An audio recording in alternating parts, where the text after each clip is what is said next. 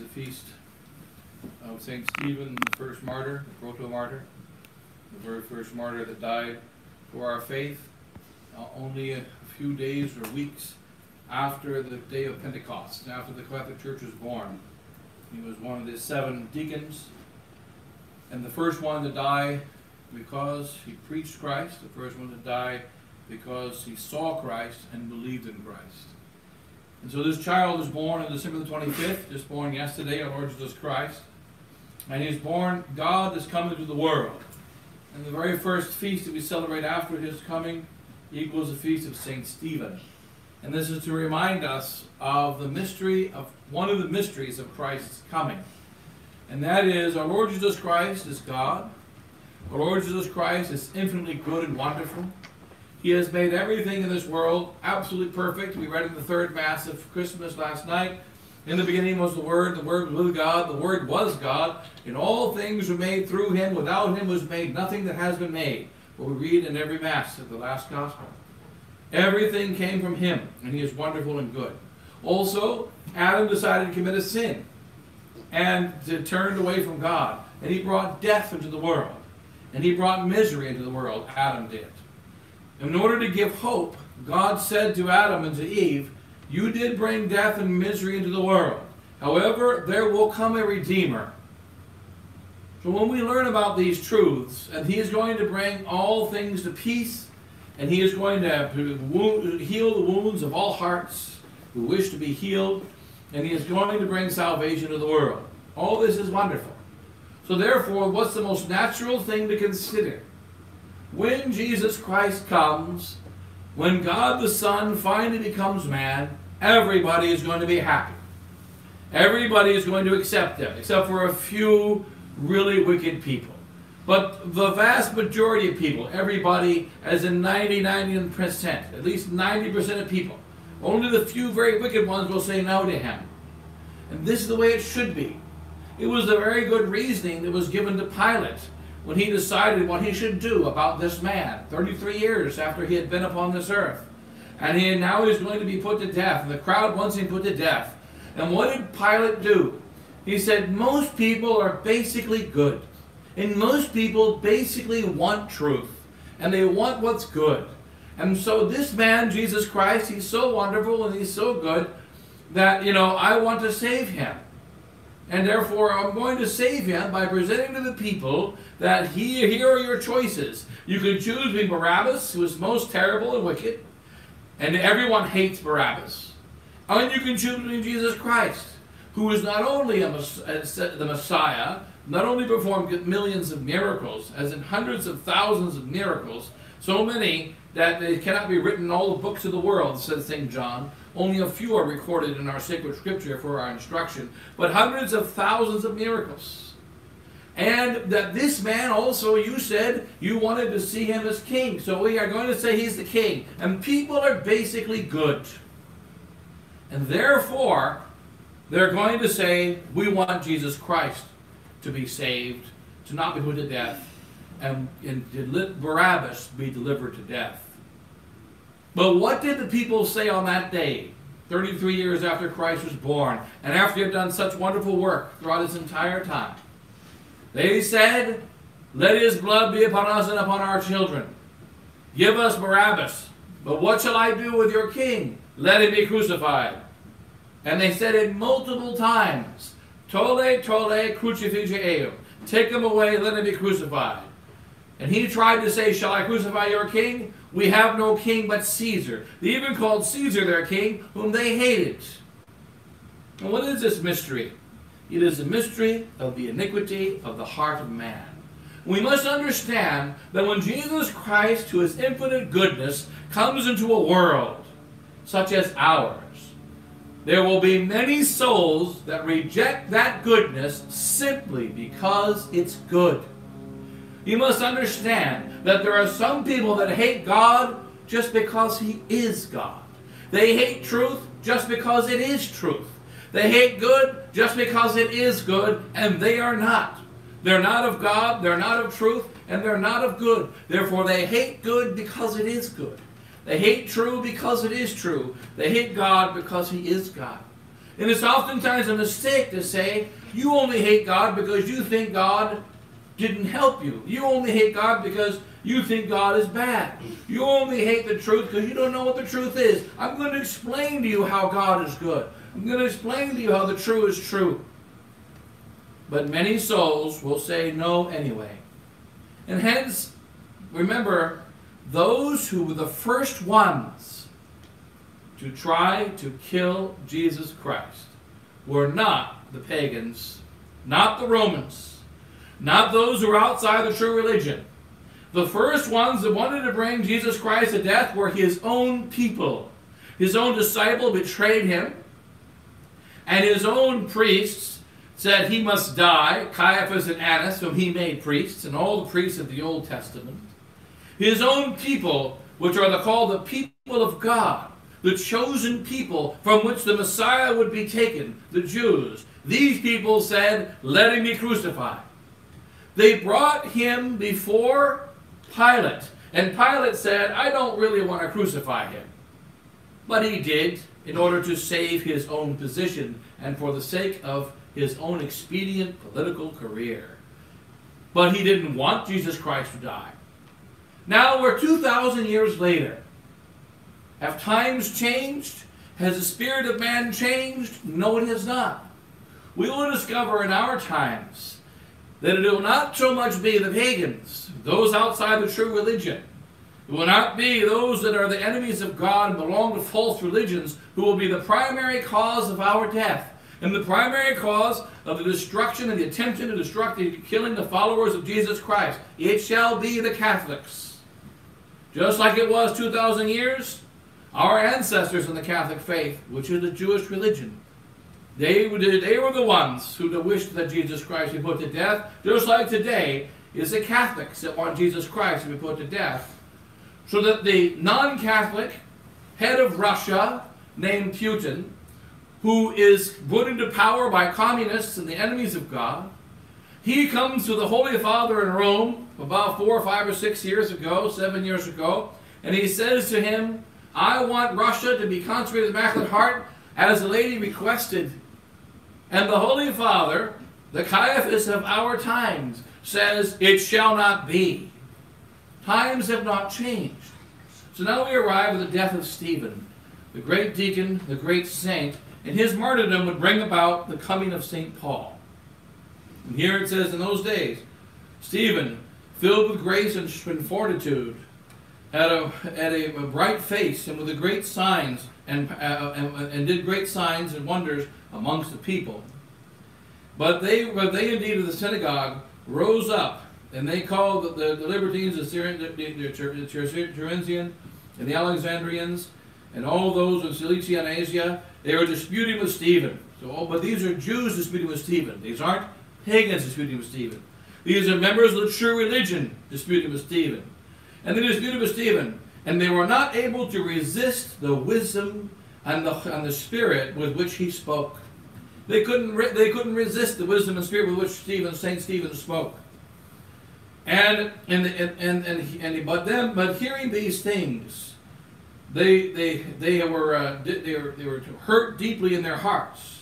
And they, and they, they, they, they grinded their teeth against him. They ground their teeth against him. And, and then when, and when Stephen was filled with the Holy Ghost, and looking up to heaven, he saw the glory of God, and Jesus standing in the right hand of God. And he said, Behold, I see the heavens open, and the Son of Man standing on the right side of God. Now notice when St. Stephen says these words. He didn't say anything negative. It's very important. When Jesus Christ was a little baby, he didn't offend anyone. He didn't preach a single sermon by which anyone could be offended. He didn't even perform a miracle for the, for the wrong person. Like they say that St. Peter denied Christ because our Lord raised his mother-in-law. And therefore St. Peter denied Christ. He cured the wrong person. Well, the fact is, he didn't cure the wrong person. He didn't preach the wrong word. He was just a beautiful little baby. And what happened? Herod said, that beautiful baby must die. And why must he die? Because he's here. Because he's in my land. because he's God, because he's king. 33 years later, St. Stephen, all that he does is say, I see the heavens opened. He said, as it says here in the Vulgate of St.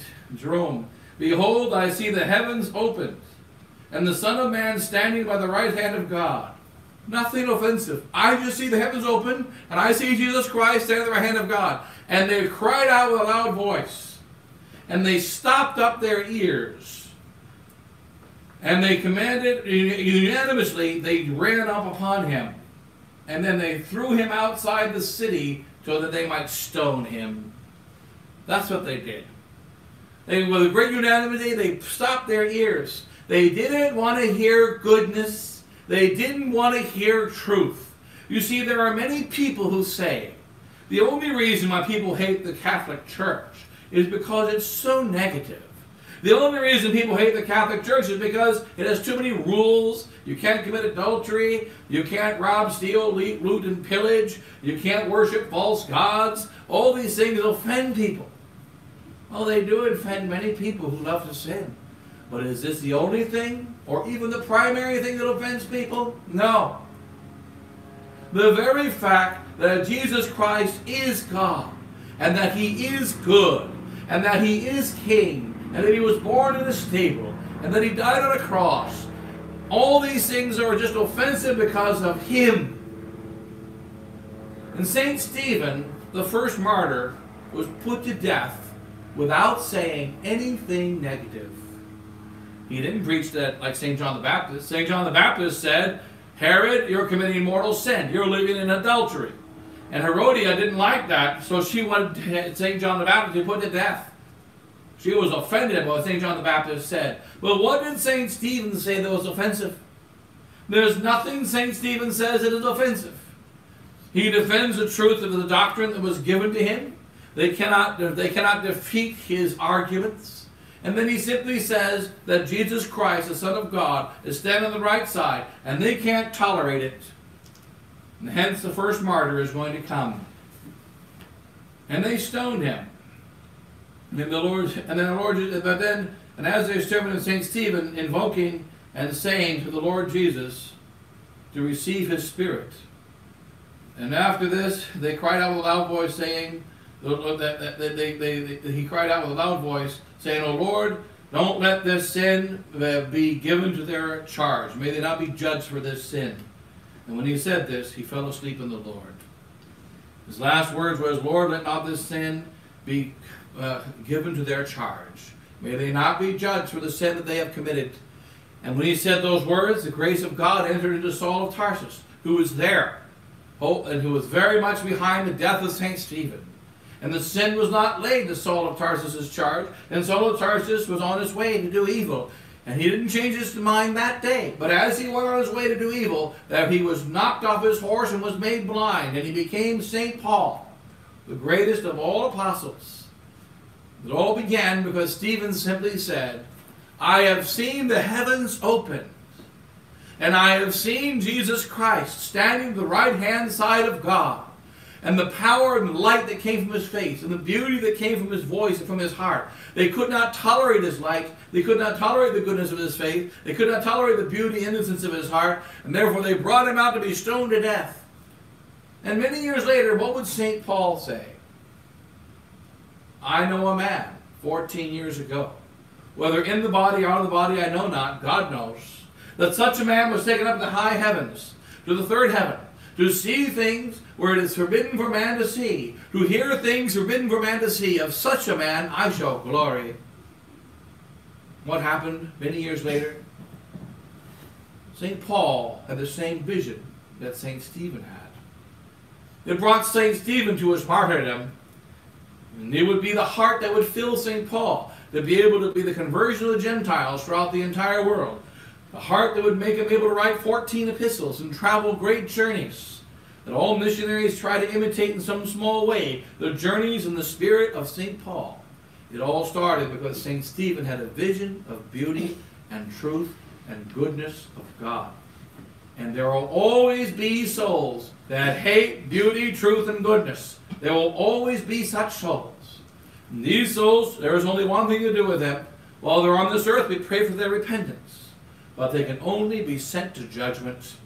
They can only be sent to judgment.